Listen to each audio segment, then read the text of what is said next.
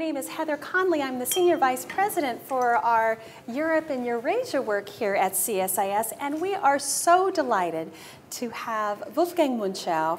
Um, many of you know, as the, if you read the Financial Times, uh, twice a week we get some of Wolfgang's great wisdom on the current challenges, opportunities in, in Europe's uh, economy. Uh, while he's not writing for the FT, he is the founder, co-founder of Eurointelligence.com, uh, which is dedicated to providing information and debate about economics, finance, and politics of the Eurozone. So um, I happened uh, several weeks ago to send Wolfgang an email. I thought, well, you might be in Washington during the spring meetings. And the answer came back, I'll be there. And I said, would you be so kind as to have a conversation with us, help us to sort out so many issues that are going on uh, in the Eurozone? And I was so delighted to uh, have that email that says, sure, let's, let's come and have a chat and to have a conversation.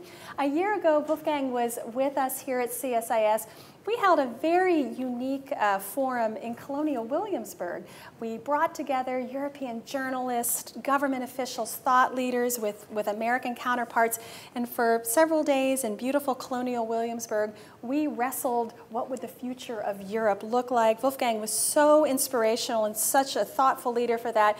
I thought, it's a year later, how did we do? What were some of the predictions uh, that we uh, had? And I'm going to kick off our conversation uh, of course, with Greece. Uh, and, you know, I, I think uh, Greek fin uh, Finance Minister Varoufakis is also speaking this afternoon as well. But I want to, want to provide you a quote that Wolfgang told us a year ago.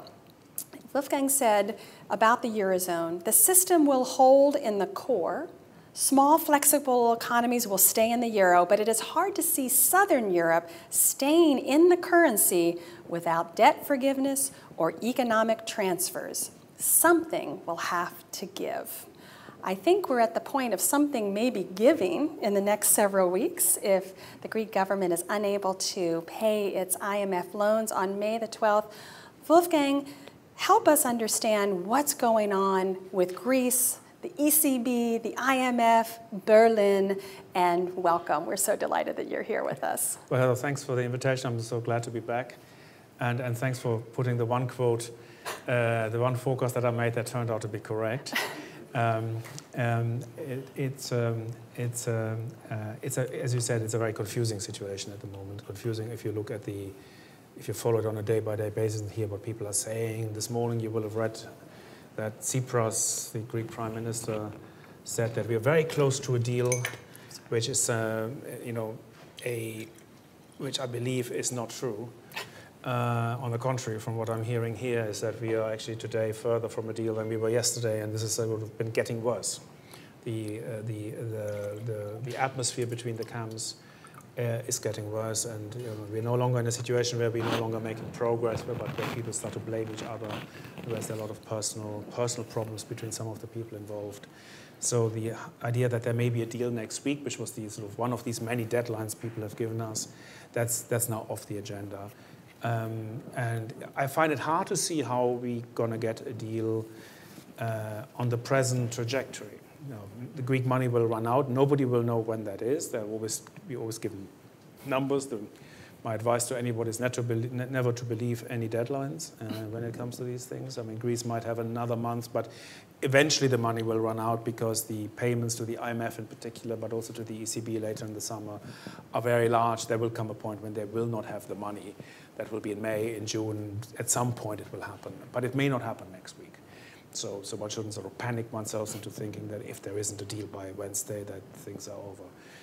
I don't think the finance ministers and their officials and the, these, you know, the, the troika or the, the, the, successor organization to the troika, that process will not get us a deal. That, that's kind of too late for that. Um, what will get us a deal, if we get a deal, and I'm, I'm now no longer sure that we will, uh, what might give us a deal is a last minute inter political intervention um, the, I think the only person who can still deliver a deal, if she wants it, is Angela Merkel.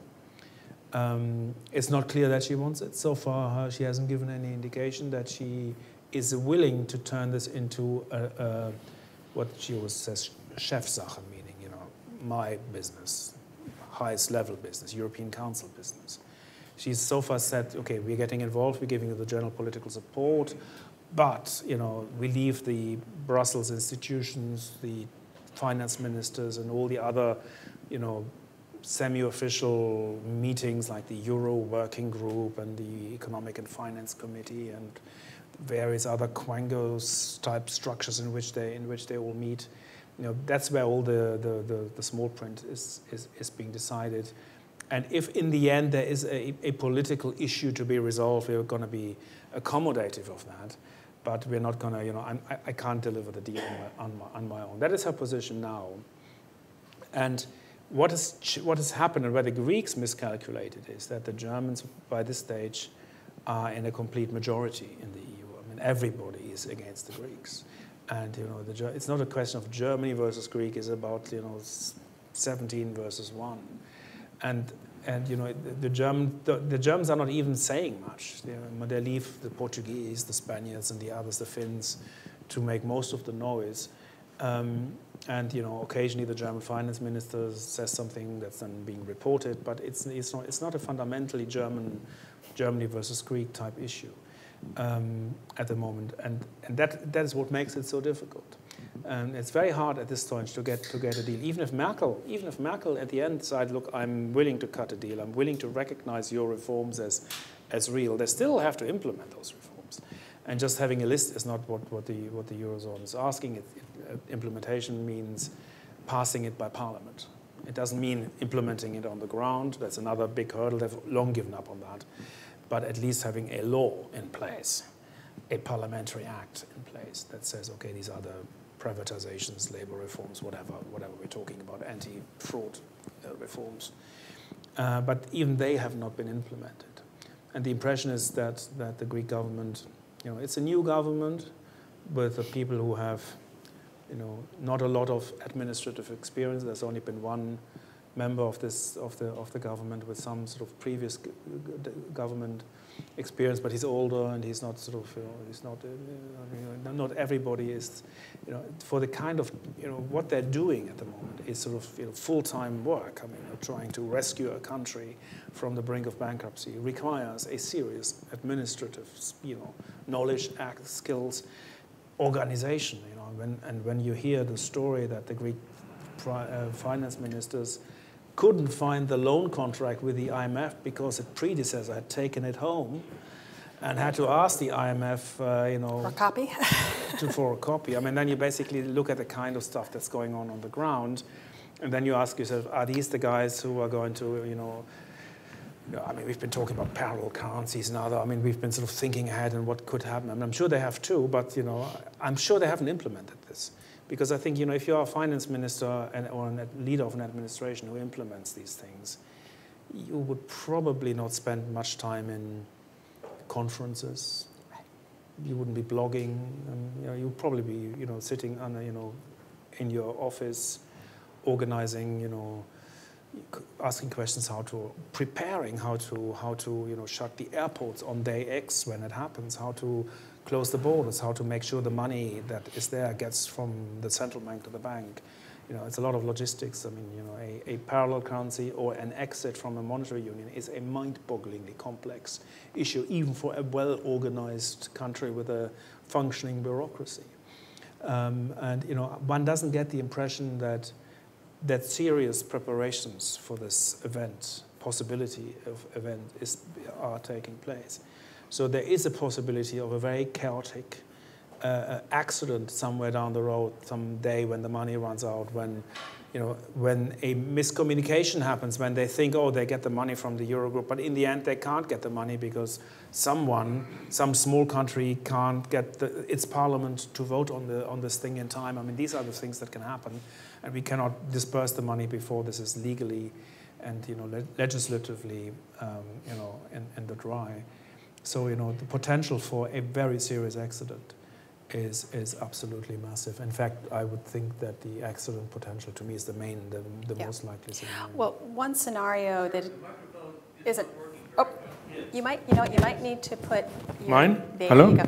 If you know uh, what, you thank you. I appreciate that. I think pulling it up. Yeah, perfect. So perfect. hear Is that better? better? You want to Is that better now? Maybe a little loud? Maybe we Is can turn up the yeah. Is that better?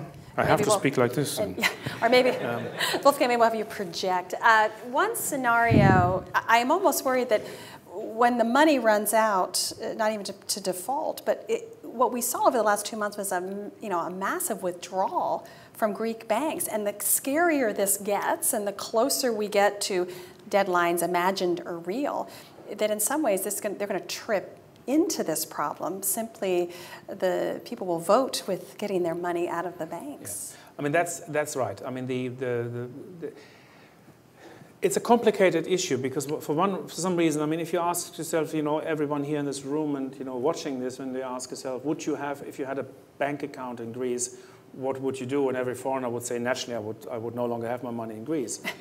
but if you are Greek in the Eurozone, the question is not so simple because in the Eurozone, it's actually not that simple to open an account in a different country. Uh, it's easy if you're rich, uh, but for example, if you want to open an account in Germany, you have to have a German address. Now, most people don't have a German address.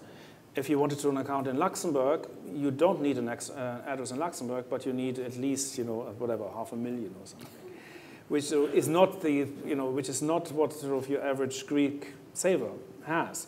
And you know, in any case, you need to speak the language, or you need to be able to travel there, and you know, you need to make arrangements. For most people, that's not practical. So, and we have, and you know, just taking money out and sending it, and you can't open bank accounts by the internet. We have a lot of in the eurozone, as you have here, in the United States. You have a lot of anti-money laundering legislation, um, um, which is kind of uh, being abused as a kind of a protection, protectionism of national banking markets. We've seen a great renationalization of banking in the eurozone. Banking, you know, I've, I've had my own credit card. Uh, I've used a German credit card for many, many years while I was not living in Germany. That's now being, being withdrawn from me because the, uh, of anti-money laundering laws, German credit cards can now only be used in Germany, and, and you have to have national, nationally uh, uh, issued credit cards in order to, uh, you know, which, which basically goes fairly much against the, the whole idea of not only of a single market, but if you have a monetary union, uh, and you know you have a sort of descent into nationalism in banking. That's that's really a, a, a bad sign. And you know if we you know move beyond Greece, and you're asking me what, what I'm really worried about the eurozone, Greece is not the number one, two, or three issue for me in the long run. In the long run, there are much much more disturbing issues behind behind this. But talking talking about Greece and this and this thing. You know, what is surprising is how little capital flight there has been. I mean, there is mm-hmm. capital flight, and we've seen it. The, the worse the news got, the more it was. But it wasn't panic. It wasn't like a bank run. It was like a slow drain. It's a very slow-moving thing, and you know, and a lot of people have their savings not in current accounts, but in savings accounts, which have certain periods of duration, and you know, and you would take a penalty if you uh, withdrew the money quickly. That's another issue, and people would then have to decide: ah, am I gonna, is, it, is it that bad that I'm going to take the penalty, or will I, you know, will I not better wait a little bit, or you know, turn my one-year contract into a six-month contract? Others are turning, you know, others are turning their money into from a from a bank uh, savings account into gold, or some other asset that they can keep at home or in the safe deposit box. So not all flight out of the banking system is a flight out of the country. So you know it's slightly more complicated. But obviously, if the news turns really bad, and if you know if you know if we get, I mean, yesterday there was one news organization reported that the Greek finance minister was having a conversation with one of the you know lawyers who specializes in debt default. You know stories like that, uh, or when there is a huge breakdown in the in the in, in the in the negotiations, when people are saying we're going to default in 10 days, or we haven't got the money to pay the wages. You know, when these stories kind of kind of come up, then people may start to to to accelerate the process. But I, I, even then, I don't expect that the you know, I don't think we'll see 50% asset withdrawals. I think you may find 10, 20% of the, of the, of, the withdrawals. So it will be an increase that will then be compensated by the ECB. uh, increasing the, the, the, emergency lending volumes for the Greek banks. So the Greek banks are safe. This is not the bank run that's happening is absolutely not dangerous for the moment because the ECB compensates whatever flows out. Uh, the ECB allows the Greeks to, to, borrow through this emergency lending system. So at the moment, it's a perfectly stable, self-stabilizing system. Uh, that, but, but the ELA is a temporary measure. It cannot be sustained indefinitely. Um, but you know, it, it, cannot be withdrawn easily because it, because it takes a two-thirds majority to withdraw it. But you know, Greece is not, you know, has, doesn't have many allies. So if the ECB wanted to, it can pretty much pull the plug. But the ECB won't pull the plug unless there's political support for pulling the plug, which there isn't at the moment because we're still in a political process. So the political process takes precedent. And whatever it resolves, and if it comes to a point where people say, we've tried everything, we can't keep Greece in the Eurozone anymore, if that becomes, were to become the consensus, then the ECB will pull the plug.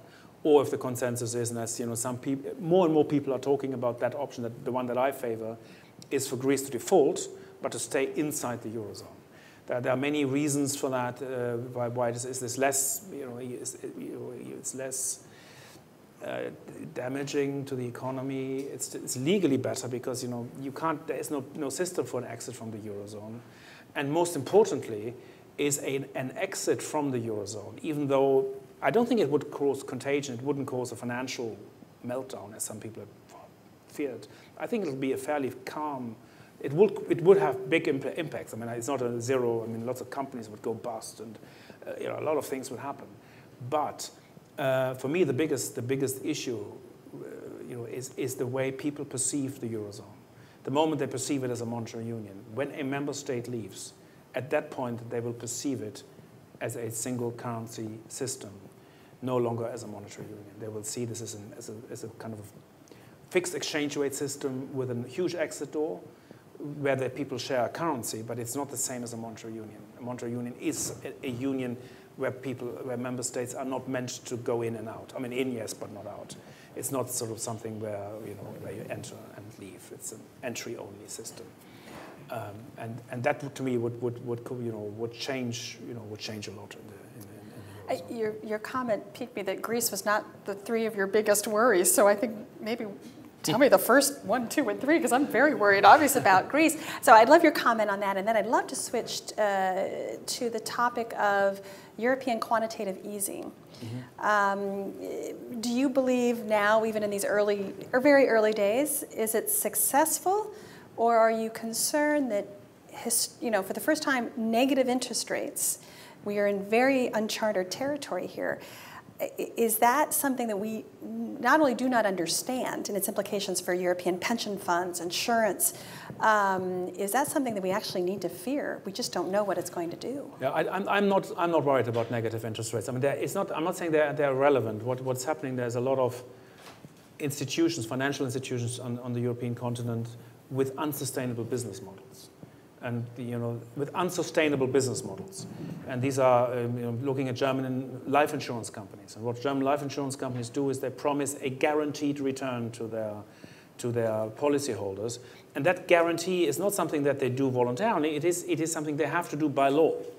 So they have to give their policyholders a, a minimum legal guaranteed return, which I think is one point, uh, I forget the number, 1.3, 1.4%, something in that order, but definitely higher than what any return they can get on the market. Uh, so they, that's the reason they're not there. They, they have uh, obviously big portfolios of bonds. These bonds paying higher interest rates for now because these are bonds bought, you know, two, three, four, five years ago, maybe even some even longer. Um, but anything they would buy now wouldn't pay 1.3%. A 10-year German uh, bond is paying at the moment 0.1% uh, or 0.14%. And you know, it won't be long until it will, it too will have a negative yield. That will happen. Um, and you know, we, the whole, the whole, the whole thing is, is going. So if, if one, you know, the, the business model of a certain industry can be changed. Uh, so I'm, that's why I'm not, I'm, I'm not worried about it. I mean, the fact that the business model is not consistent in this environment tells me that we have to change the business model but the negative interest rates are necessary. And they're not ECB. The negative interest rates are market rates. You know, the market sees deflation, the market sees or low inflation. Um, and that's why very long-term rates have been pushed down to zero. If you look at the markets for inflation products, five-year, five-year forward rates are still the most benign of those various products. But if you look at swap rates, which is the one that I would look at, where people make a direct bet on inflation swaps, where people make a direct bet on, on, on inflation over a certain period of time, you know, these, this tells us that on the 10-year level, we are just by 1%. And that's sort of, that's the long-term inflation expectation. So for me, you know, the ECB's target has kind of dropped from 2% to 1%. And we are sort of kind of struggling to, to reach the 1%, but that's still in, in, in reach. The 2% is completely out of reach as, a, as an inflation target, unless something fundamentally happened that we don't foresee to happen. So, you know, QE was necessary. The EU needed, needed to do QE just as the way the US needed to do QE, except that in the, in the Eurozone, things are harder, and we do a lot less of it. Uh, things are harder because we started already very late. Uh, we already had price expectations coming off the cliff. They are harder because we don't have a capital markets-based system, but a banking system that funds industry. And so the impact on funding costs for companies is much more indirect in the Eurozone than it is in the United States or in the United Kingdom. The third reason is we don't have much of a housing market funding through mortgages. We have, the German systems works, doesn't work through mortgages, but through bank loans uh, that have a certain guaranteed structure. These are covered bonds, um, uh, banks cover, using covered bonds as a backup to these, these type of, uh, these type of you know, bank-based mortgages. So the ECB operations would not affect those, those instruments, the interest rates of those instruments. Uh, these are sort of just sort of three very important arguments. And the fourth argument is that we, the ECB's program, is only 6.5% of the outstanding volume of European Eurozone bonds. You know, the uh, US and the UK programs, you know, affected 20 to 30 percent mm. Of the outstanding volumes of. So this is a much, much smaller program. Um, and, and, it couldn't have been a lot bigger for political reasons, but also because it's, you know, all these life insurance companies cannot sell. I mean, this is, these, there are a lot of people in the Eurozone who, who sit on these things and cannot let go because the interest rates are too low. So there, there is a less, less round. So most of the sellers of this stuff are foreign central banks, hedge funds, foreign-based, mostly non-Eurozone-based institutions in their majority, which is why the exchange rate effect has been so, so significant. Why the dollar-euro rate has been, so it has, it has had an impact on the exchange rate. That's a welcome, you know, a one-off little benefit. That's why the economy is performing better for now.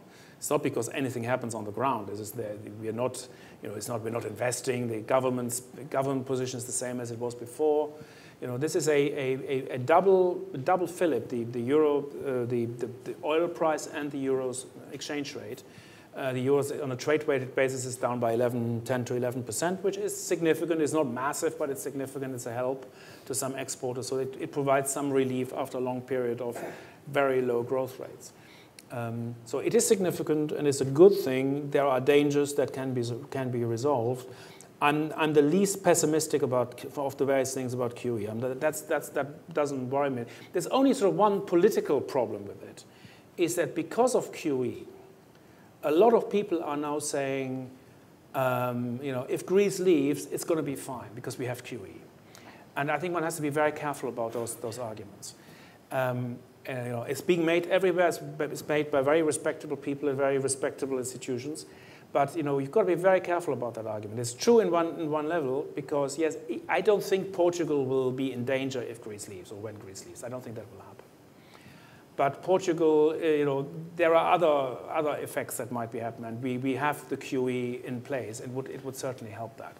We have a much greater control of the exposures. We know the exposures to Greece. We've calculated. We've had five years to reduce them and to understand them we understand the credit, the credit default swaps market a lot better today than we did at the Lehman sky. So we know approximately where the exposures are, where the risks are. So the idea of a financial Armageddon, I, I don't see.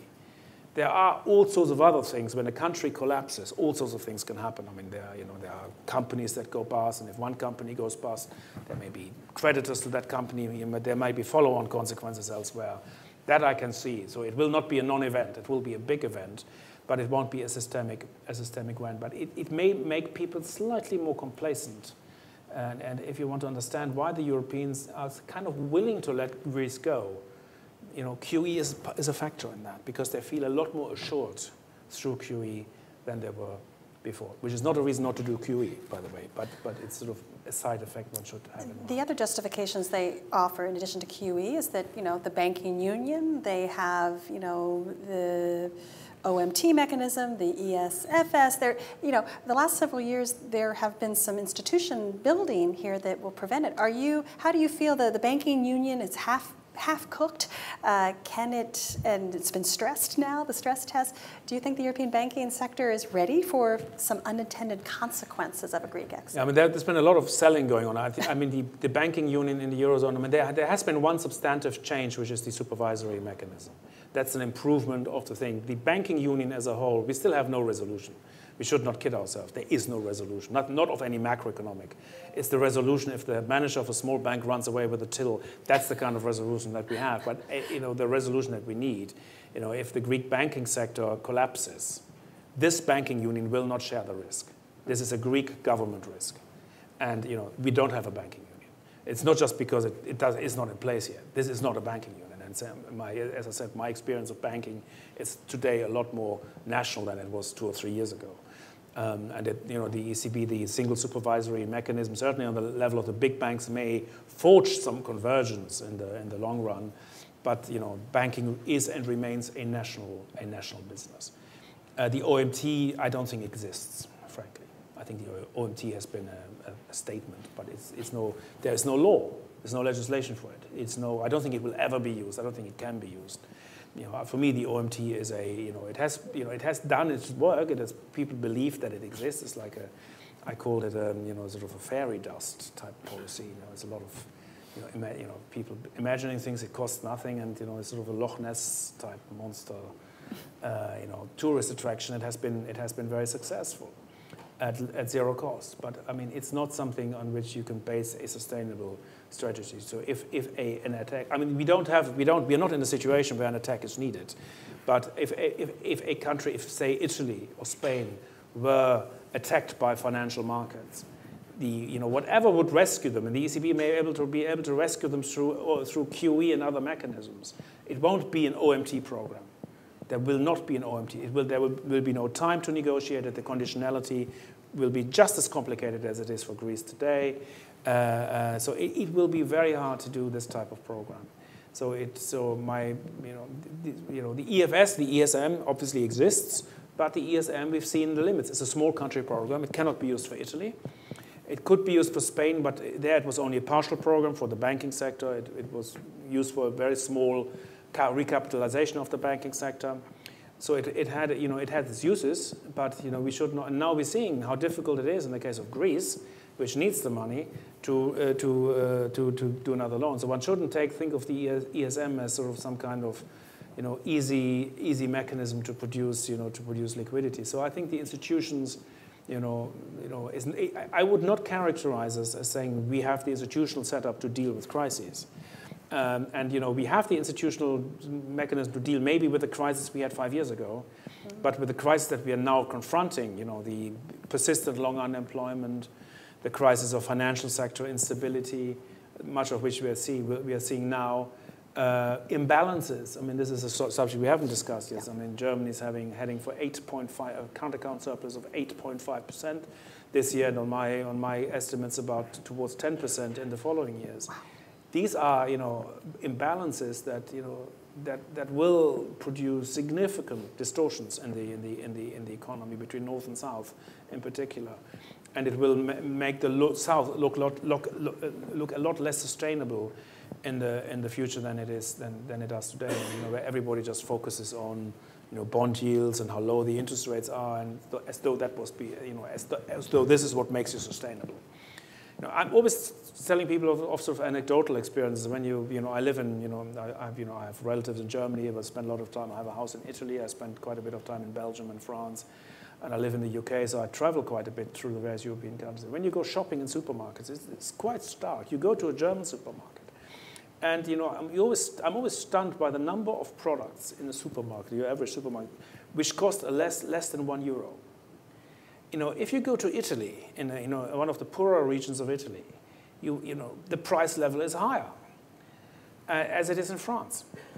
And whenever I write this in the newspapers, then I usually get some American readers say, yeah, but the price level in Wichita is lower than it is in New York. But I'm saying it's here the other way around. In our case, it's New York's price level would be lower than that in Wichita. If that were to happen, well, how would you explain that? And you know, it's, that's what our situation is. I mean, here's rich Germany having extremely low prices and poor, poorer countries having higher prices. And the, the prices in the Greek, I haven't been to a Greek supermarket uh, lately, but, but you know, those are apparently, I'm hearing, much, much higher than they are in Germany. And you know, it's real, that's the reason why, why, why these pensions, these high, these high Greek pensions that Germans always complain about, they obviously, they're looking at the nominal amounts. Uh, in terms of purchasing power, these pensions are not high. Uh, they would be high if, if the Greeks were, were, able to buy in German supermarkets. And it's not only to do with the fact that Germany has some discount, uh, discounters and different retail infrastructures. That's a factor, I, I, admit that. The Germans pioneered all these, these cheap supermarkets with you know, half a percent profit margin. Uh, that's, that's unusual.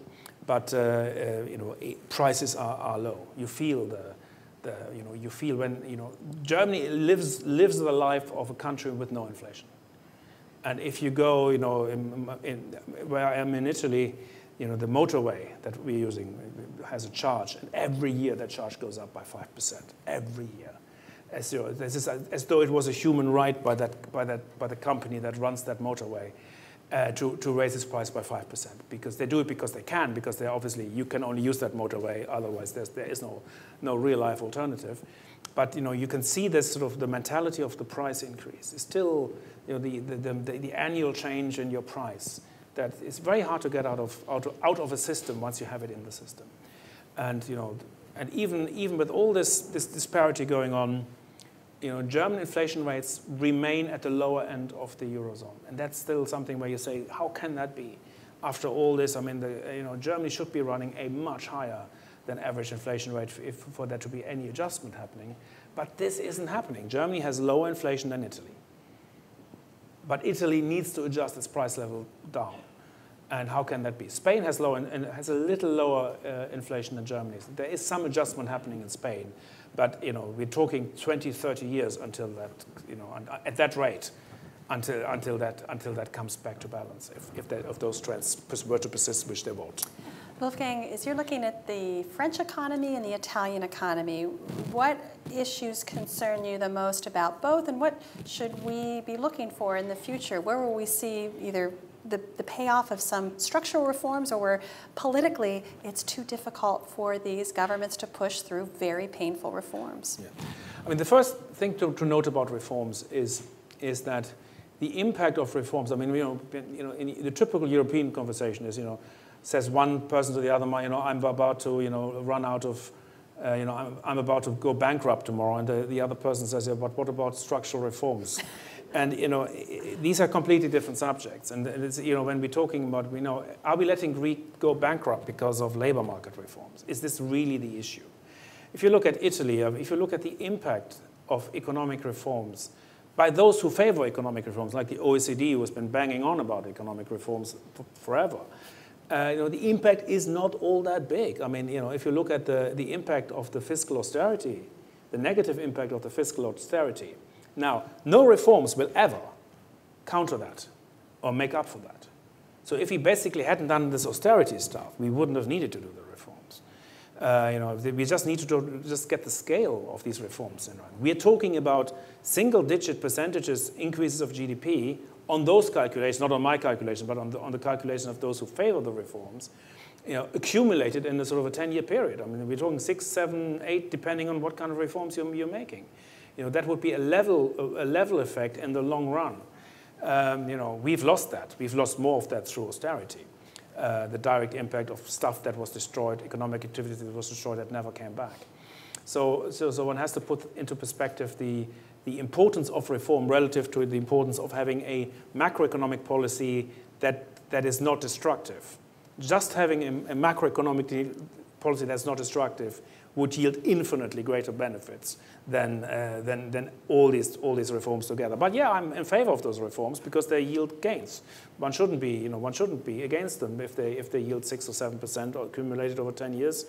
You know, fine, I'll have them.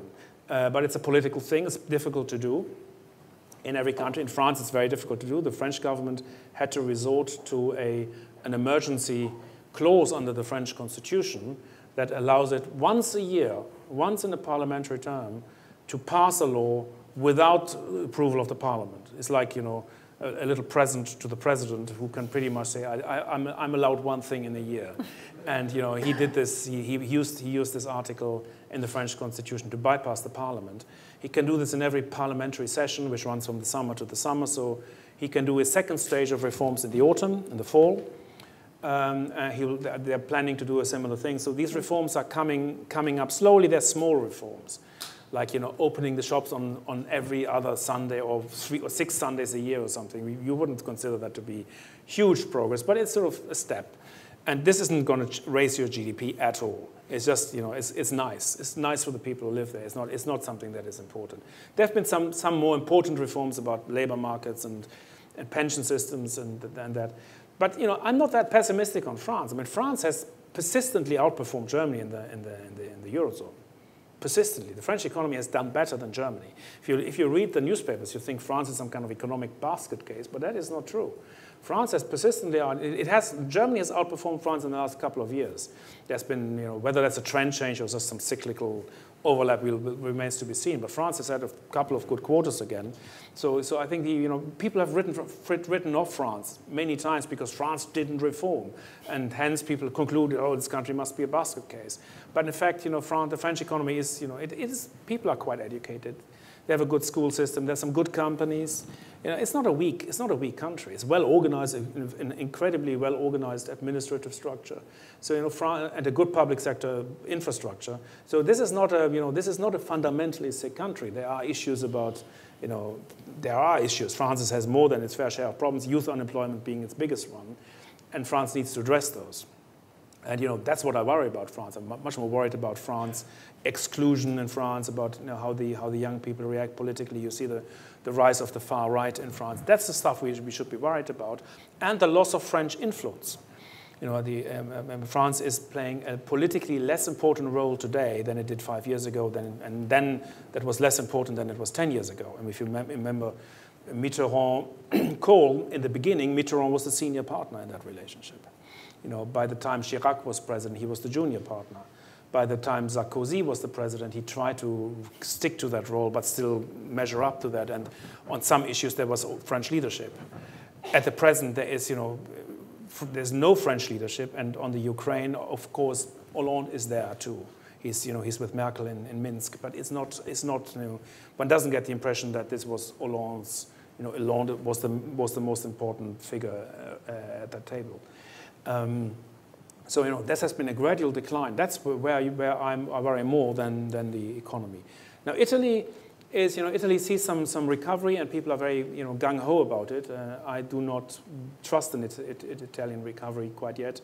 What you're seeing is essentially, uh, you know, the, the, what you're seeing is the euro and, and, and, and oil price effect. And these are predictable effects because if you're an oil importer and the oil price goes down, you have a benefit. It's a mathematical certainty. And next year, that benefit will be gone because everything will, be, will have fallen out of the statistics. It's still cheap, but you, know, you will not have improved yourself relative to this year. And, and, and that's the same with the exchange rate. So my, uh, my guess is that most of the exchange rate and, and oil price effect is one-off, unless they generate some kind of dynamic, which I, don't see any, I do not see any evidence of that that there's sort of an internal, internal dynamic. And you know, one, you know, Italian banking system is still extremely constrained. Um, the, the industry is, is, is a lot of damage has been done in the, during the crisis to Italy, Italy's industry. Um, a lot of you know, skill has been lost in the Italian economy. It, take, it will take time to rebuild that.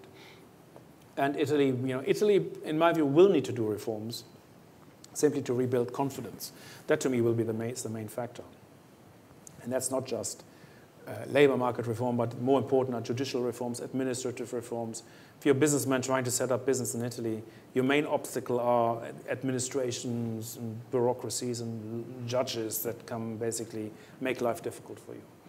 Uh, you know that, that's that's that's sort of the thing that people are looking for for reforms, and th- which we haven't seen much of it yet.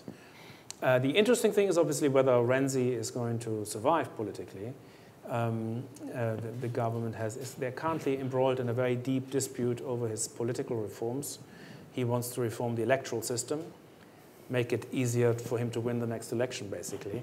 Uh, uh um, uh, the idea is basically to give the, the, the um, it's a long story. The, the current system on which he, not he, but his predecessor was elected, was a system that rewarded the majority party with a premium. So if you were the largest party, you would get a number of seats. Uh, but uh, in the lower house, in the upper house, was a different electoral system. So we have sort of you don't a majority in one house doesn't give you the majority in the other other house, and both houses can kind of kick you out.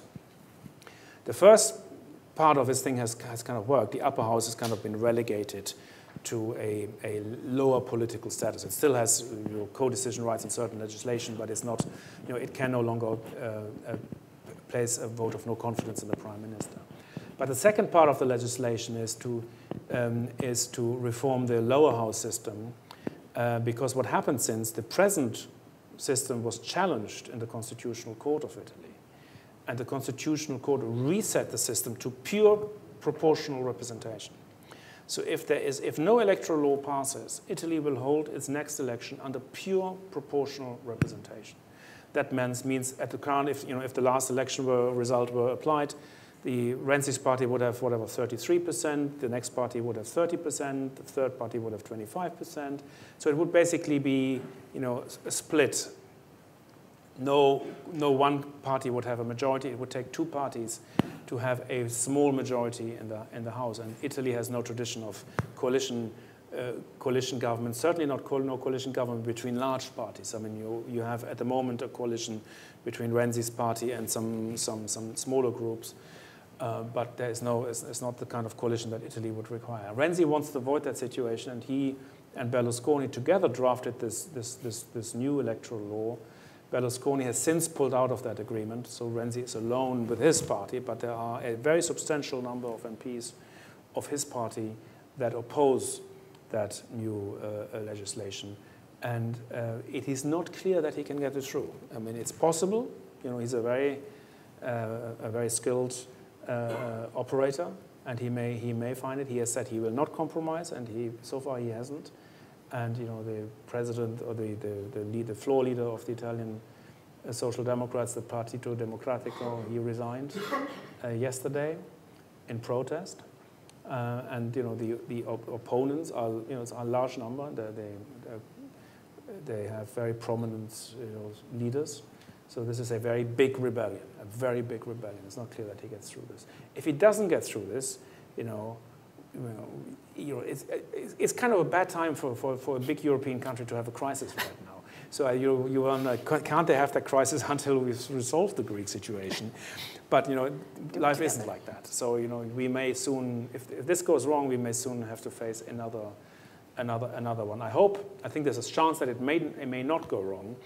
Uh, if it goes right, if it goes wrong, it'll be fairly bad. I mean, it, you know, we will have uh, instability in Italy a lot of the pessimism comes back. And this is a big country. Italy is, you know, almost 20% of the eurozone. That's a big country.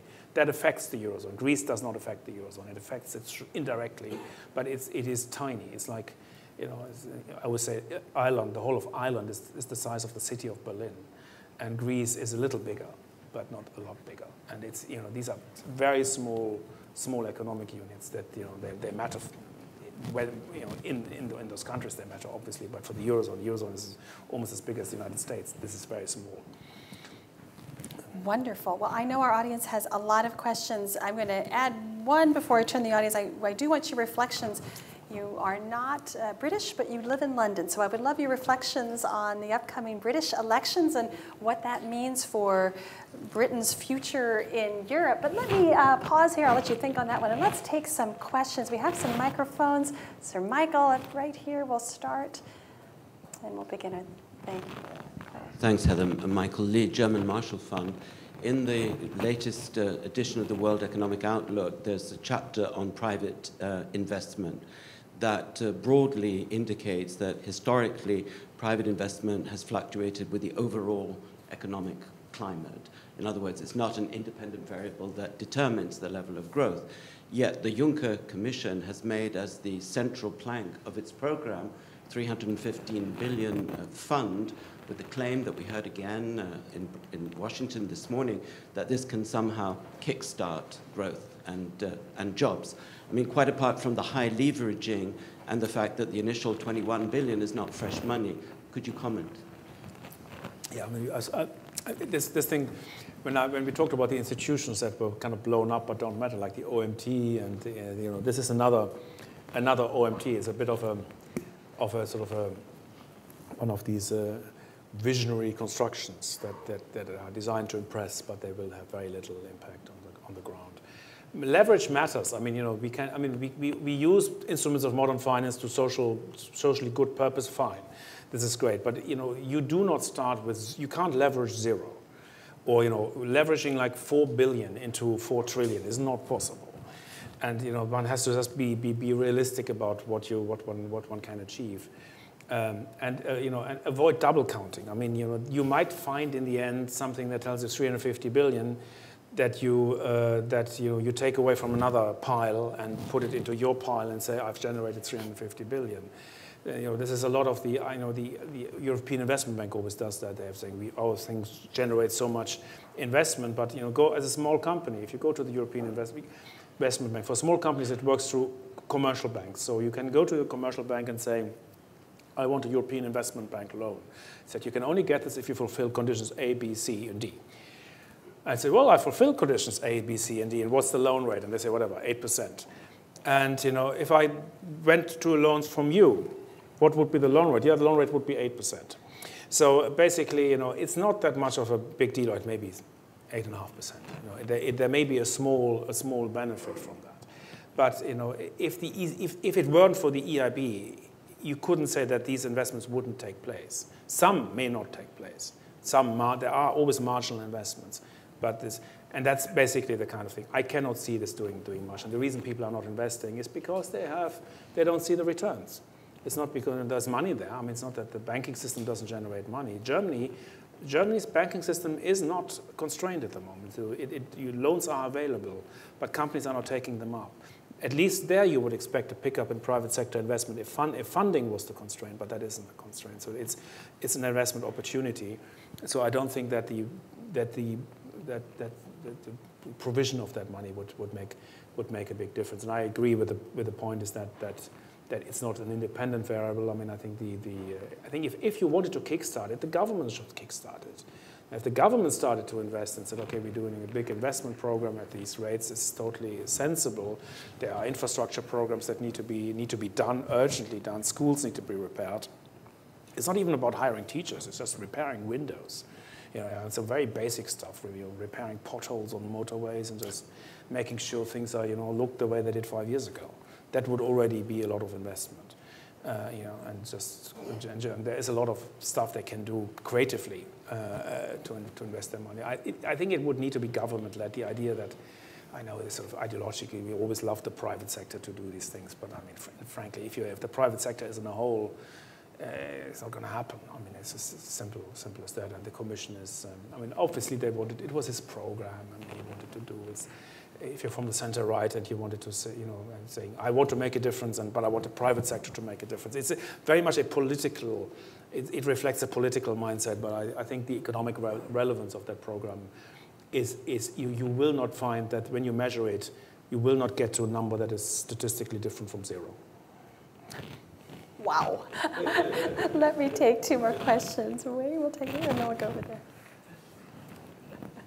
Thank you. Uh, Wayne Merry, the American Foreign Policy Council. There's another European, though non-Eurozone country that is starting to play the game of chicken on sovereign default, and that is Ukraine. One of the few countries around that would swap problems with Greece, I think, in a heartbeat. Um, and this involves the IMF. It involves, obviously, interests for the United States and, and, uh, and the Eurozone in particular. But since Ukraine is really, uh, speaking bluntly, more Europe's problem than anyone else's uh, when you're talking about finances, uh, I wonder if you could address how you think that may develop. And I would just add on to that sort of the, the Russia effect uh, when you know we see sure. Prime Minister Tsipras in Moscow and uh, Mr. Putin in Budapest, and there's uh, you know the, the, influence and impact of Russia. I mean, in, in the scale of things, the I've said, I haven't said anything yet, so I'm, I'm, I'm just. Uh, you may just, just want to pull that microphone up and eat it. I may. I may uh, the Russia, Merkel has, has made the conclusion that Russia Ukraine is an infinitely more important issue than Greece. And I, you know, I would agree with that. That's, that's a very sensible, sens sensible thing, thing to say. Greece interferes with that issue in a way that if Greece were to leave the Eurozone, it may, you know, there may be, it would be huge reputational damage to us. It would reduce our ability to, you know, it, would may, it may reduce our ability to act, uh, to act on a global level. It may divide us Putin may be able to exploit this weakness for a moment. So these are issues that, that, that, that are interconnected.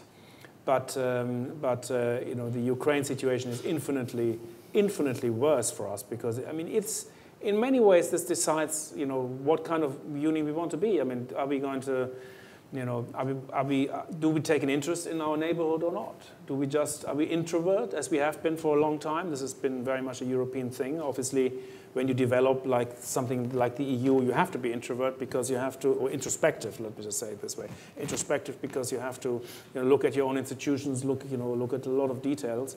But and, and you know, during that period, you're not a, you know, as effective global actor as you, as you could be.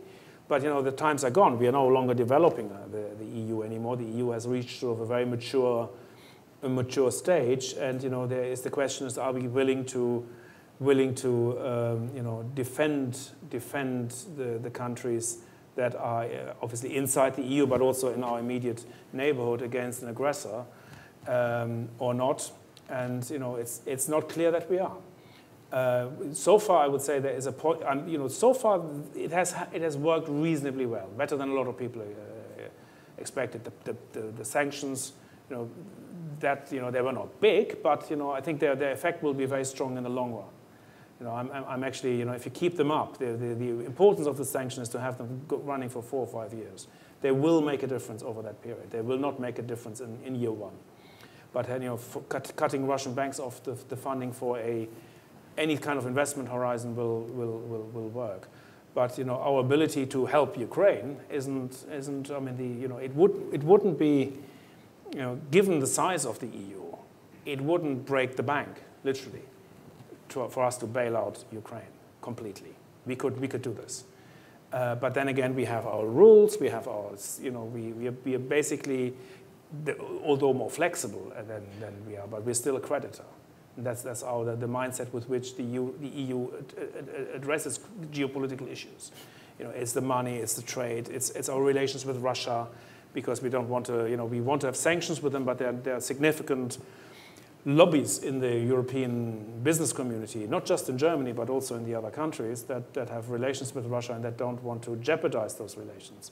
And you know, you see Federica Mogherini who says that you know, the goal of the sanctions is not to damage the Russian economy. You get your head around that stuff. um, so, um, you know, we are basically playing this sort of very cautiously. And, and, and you know, the, the question, you know, I would give credit to Merkel that she's pushed this more than we thought possible. And I think she, she is intended to hold it together, and there's a good chance that those sanctions will be renewed for another year.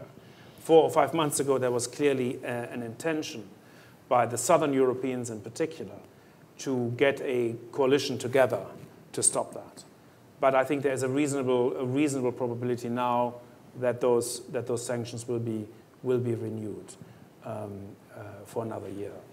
And, um, you know, but I'm, I'm not very optimistic that, that, that this sort of that this sort of European will to, to stand up to Putin is strong enough to, to get Ukraine to a position that it can prosper again and become a member of the EU at one point, because I don't think that's the intention. I think the intention of the EU is to keep the Ukraine out. Uh, I don't think, you know, in fact, I don't think we will have any more enlargement from now on. I think enlargement is finished for a very long time to come after because of all these problems that we have internally. Uh, you know, we, keep, we, we, will struggle not to reduce rather than to enlarge at the moment. The reduction is the problem, not enlargement. Okay, we have a question, time for one more. Maybe we can sneak, if we answer very quickly. I don't want to hold anybody over, but this is such a good conversation. I don't want to end it. So, sir, yes, please. Yes, um, I enjoy reading your articles in the FT. Since most of the foreign debt today is actually held by, I think, the sovereign, the European governments, I think you know, a lot of it's moved from private sector to public what's not to help Greece set up a 50, 75 year amortization schedule of debt and low interest? Because uh, you know, they clearly have these cash flow needs over the next several years, but basically addressing how the United States did with the European countries paying back war reparations, um, just putting this, you know, restructure the debt to take with the immediacy, it gives Europe some time to figure out some of these problems. Yeah, that wouldn't work because, I mean, it would, if, if the problem were, you know, the, the, the, the, official debt is actually not the problem because the official debt will not be serviced until 20, 2023. So the Greece isn't repaying anything to the ESM and the EFSF. These, these funds are, you know, free basically for now. This is money there's, that they, will, they won't service it for, for then. That can be and should be prolonged. It will be prolonged. I mean, that, that will be the least the Eurozone will do. It will probably not be repaid at all. So prolonged will be kind of a nice, a good option from, from the creditor's point of view. Uh, so yeah, low, low interest rates, or, or, more likely, the term will be pushed to 200 years, the interest rate to whatever zero, and then you know you you have a you know you have essentially the same as a default, except that it will look differently in the accounts and it will be presented differently and it will it will obviously it won't be zero, it won't be some other number, but it will be effectively the same. So you know that will that will kind of solve that problem. And if, as long as that piece of credit is not kind of counted towards Greek debt to GDP, which it needs to be reduced and has all other implications, like having to run a primary surplus of 4% in order to get that debt down as well. You know, if you can kind of exclude that sort of chunk of debt, it can lie, can lie there as a sort of a, a separate piece of, of debt that's going to be repaid over a 200-year period or whatever number you, you want to you, choose. You choose. Um, the problem for Greece is the stuff, the money owed to the ECB and to the IMF. And that's money that it needs to serve, service now. Um, you know, there has been a debt repayment to the IMF, but there are now constant debt repayments to the IMF in the next few months. This continues now. Uh, and the IMF is not an institution you can default on easily. Uh, you can delay a payment for months or two, but it's not, it's not a, you know, this is, this is you know, you, you, and the, ES, the ECB cannot negotiate a default for, for legal reasons. Um, you know, its legal interpretation of its own statutes and of European law is that a, the, if the ECB were to enter into any debt negotiations, that would, uh, that would constitute a debt monetization. So, you know, the ECB can be defaulted on, of course. There's nothing the ECB can do if Greece defaulted on the ECB. But uh, the ECB can take a complete loss, but it can't negotiate a 50% loss. So, you know, you say economically that makes no sense, but the legal position is that one, one act would be, would be interpreted differently than the other. Therefore, the Greek, the, you know, the, the, the Greece would have the choice to default on the ECB, uh, or, or maybe for us to find some other way out of this dilemma. And they, nobody's come up with a solution yet. We're going to take the world's fastest question, sir. A microphone is coming your way, and then we'll let you go, Wolfgang. Tom O'Donnell. Uh, I'm, I'm here as a fellow at the AICGS, uh, actually looking at some of these, but energy angle. Okay, to make it a focus question, uh, it's about German leadership in Europe, which, like the ECFR in, uh, in Europe, says there's an index that say they've got it but it's, everybody says it's by default. When I look at the economic front, I just was listening to Herr Schäuble across the street, um, completely out of step with the idea of having um, quantitative easing. You, you, were saying they should spend on infrastructure completely against this. Uh, you know, it just seems ideologically really in a different place than it seems need, they need to be. And on the question of confronting uh, Russia and so forth, there's this idea, it seems to have sleepwalked into this. And we're just there for economic reasons. We didn't intend anything geo, geostrategic. And when you actually talk to people, they said, no, no, it wasn't about geopolitics. Well, of course, Mr. Putin thinks differently. What happens if Mr. Putin decides to double the area he's got now? Uh, what's what are they going to do? Double sanctions? So I'm just, I guess what I'm asking you is, what do you see happening with German leadership? Is there going to be a trans, some kind of transformation in, in how to grapple with its new position in the, in the union? I mean, the, the increase of German leadership has been gradual, uh, but one shouldn't, uh, you know, you know, first of all, the Germans don't want leadership in this sort of in this American definition of leadership. I mean, you can't do it in Europe. I mean, there, there's leadership that you apply inside the European Council. Now, that's a different thing than the national leadership of us having a bilateral with Putin, and I want the others to do the same thing. Now, the way Merkel exercises her leadership is through the European Council. That is the institution that matters. In, you know, and, but it's a debate. It's an open debate. There are, there are 20, uh, 29 leaders in there who are debating, uh, you know, debating, and there has to be a consensus built around a certain position. So, you know, you have to be good. I mean, you have to be persuasive. It's not just because Germany says yes, then everyone will, will, will do it. And previous German chancellors didn't have quite so much pull as she has now. She's been quite successful at coalition building. Kohl was quite successful at that as well, um, in his, in his uh, later years in particular. Um, so, uh, um, and, and you know, the notion of geostrategic, I mean, everyone in Washington talks about geostrategic things, and you think, think it, everybody thinks it, and that's not the case in Germany. There are maybe, you know, if you go to conferences there and you may, you might, you might meet the 10 Germans who think the way you do, but, uh, you know, that's not very typical of the way, of the way this works. And, uh, you know, it, the idea, you know, you have commercial relations, that's to them matters. I mean, you know, their companies, companies matter a lot more relative to the political, you know, establishment. And if the companies wanted, and, you know, it was a big deal for Germany's companies. I mean, there is a, an organization called the Eastern Committee of the German Industry, which is about as powerful as the National Rifle Association in the United States, and about as sort of, you know, benign. And, um, and, and you know, they, you know, they are the guys who, you know, they are the guys with Putin. I mean, they obviously, they do business with him, they've been investing in them, and that has stopped. And Merkel got these guys to support her policy. That was quite a, quite a, you know, quite, quite an act. But, I mean, they thought, perhaps erroneously, and I think probably erroneously, that those sanctions would, would, would, would end they would be, would be gone by now. And they had kind of miscalculated. And they're kind of in a difficult position because they will have to break with her at one point. And that's going to be interesting to see. And that's, that's the difficulty. But on, on leadership, I would not expect this leadership to, this, you know, in the way that is understood here. We will not see that kind of leadership. That's what we. That's also in the eurozone. You know, Germany has a, obviously a voice, but you know, the minute Germany exercises leadership, you don't like it because you have a different idea of what, what you want. I mean, you want Germany exercising the leadership that it has to do the policies that you want. That's not going to happen. Well, of course we do. That's exactly how we want it. Uh, Wolfgang, this has been a delightful hour plus. Thank you. Thank you so much for sharing your insights. I have to say, I now have this new vision of a Tinkerbell sprinkling her pixie dust over the Juncker plan and OMT and ESM. I think I have a new mental vision for that. Well, we're going to follow this story, and uh, I hope you'll come back next year when I can quote some of your most quotable sayings from this conversation to see whether you were right or whether you were wrong, but you are always insightful and very thought provoking. So please join me in thanking Wolfgang Munchau.